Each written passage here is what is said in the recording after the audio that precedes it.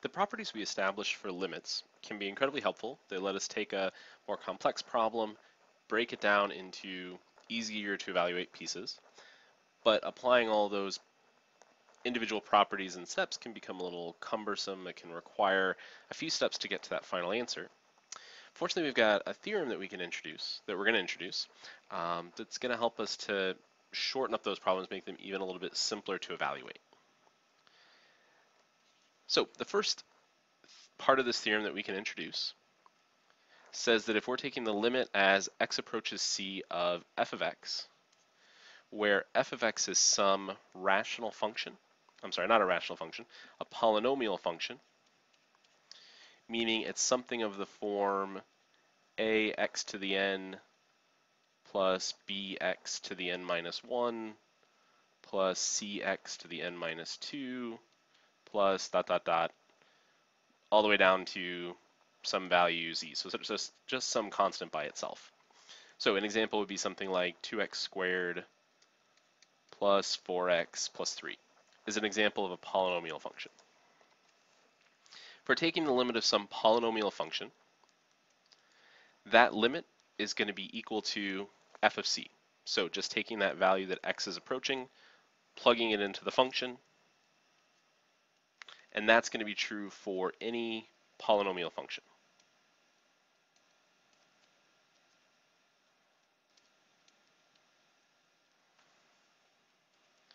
If we have a rational function,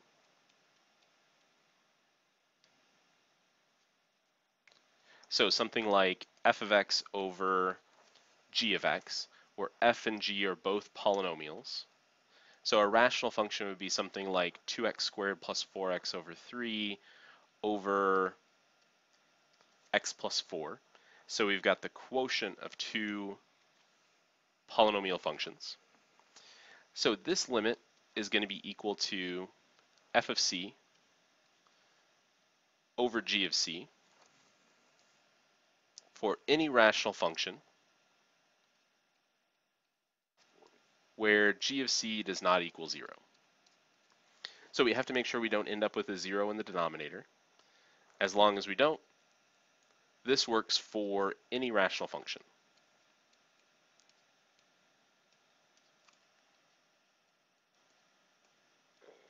So essentially what this does is gives us a couple of very quick shortcuts for evaluating some limit problems.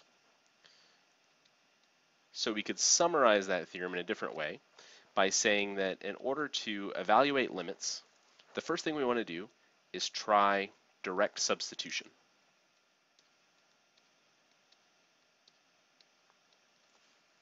So whatever value x is approaching, just plug that into the function.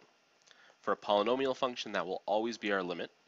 For a rational function, that will all, always be our limit unless we get a zero in the denominator. So let's use that approach to evaluate a few more limits. So in example 3, we've got a polynomial function. So we can evaluate this just by using direct substitution. So we get negative 1 to the fourth minus 2 times negative 1 plus 3 is going to give us 1 plus 2 plus 3 or 6 as our limit. In part B, we've got a rational function. So first thing we'll try is, again, direct substitution. So we'll plug in negative 2 squared over negative 2 squared plus 1 is going to give us 4 over 4 plus 1, so 4 fifths. So we use direct substitution. We don't get a 0 in the denominator, meaning that's our limit. So for a polynomial function, we can always use direct substitution. For rational functions, we start by trying direct substitution, and as long as we end up with a real number in the end, as long as we don't have a 0 in the denominator, that works. So let's look at a couple of other examples where in this case with rational functions, direct substitution is going to fail. So we can talk about what we do in those cases. So here, if we plug x equals negative 3 into the denominator, it actually doesn't matter what we'll get in the numerator. We'll get something in the numerator. But we would get negative 3 plus 3, which will give us whatever expression we have, whatever result we have in the numerator, over 0. So that's not a real number. Anything divided by 0 is not a real number. That's an undefined result. So we have to decide what do we do with that. So our first best approach is to try using factoring to reduce the expression. So we can factor this. Nothing in the denominator will factor. That'll remain x plus 3. But the numerator we could factor as x plus 3 times x plus 1, which means x plus 3 over x plus 3 will cancel which gives us the limit as x approaches negative 3 of just x plus 1. So now we have a polynomial function. We can try direct substitution again. We get negative 3 plus 1 gives us negative 2 as our limit. So for a rational function, try direct substitution. If we get a real number as a result, we're done. If we get a 0 in the denominator, we want to try factoring to see if we can get that term in the denominator to cancel, or that expression in the denominator to cancel.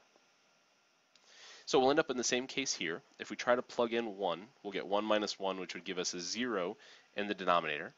So since direct substitution won't work, we'll rewrite this as the limit as x approaches 1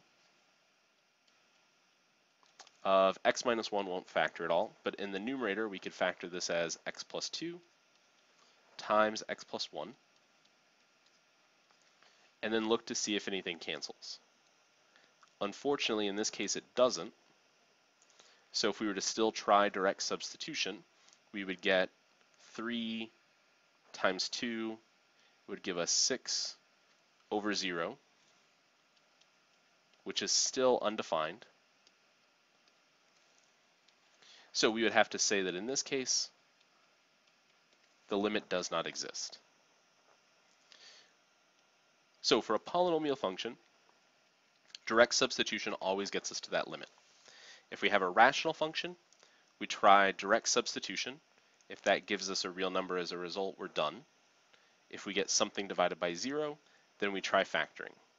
If something cancels in the denominator, try direct substitution again. If nothing cancels, we still get that zero in the denominator, so we just have to say that that limit does not exist.